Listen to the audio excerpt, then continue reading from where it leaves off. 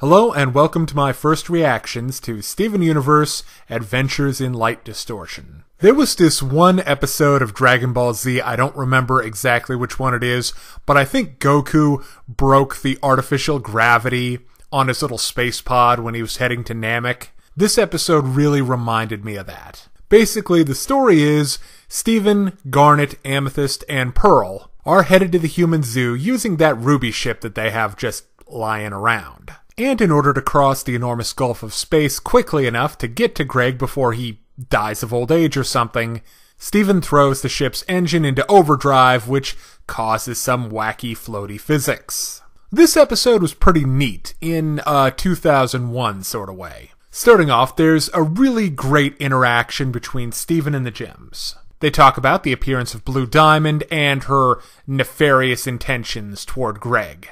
It was all really funny and everyone's well characterized, so just a great bit. When it comes time to actually leave the planet, they get instructions on how the ship works from good old Peridot, who was really on fire in this episode. Her egotistical explanation of how the ship works was pretty darn funny. Also, this episode had a fantastic phrase in it space turbulence. Great joke, man. Fantastic joke. Now, the episode's big central set piece is this reality warping thing that Steven does with the controls of the ship.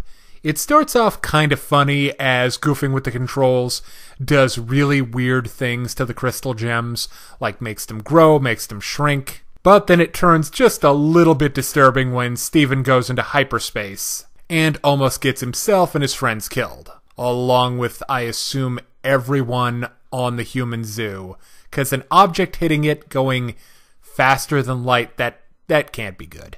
That's really when we get into the best part of the episode, and that's Steven's arc. He starts off really in a big rush to try and get things done. You know, let's go to the zoo, let's do all that stuff, just pounding away at those controls like a monkey. And he comes to realize that, well, he almost got everyone killed. So to sum it all up, Steven Universe Adventures in Light Distortion is a pretty good episode.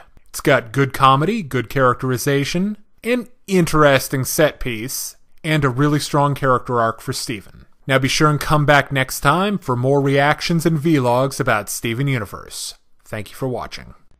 Hey kids, today's show is brought to you by the letter 4 and the number potato! I'm a stupid private.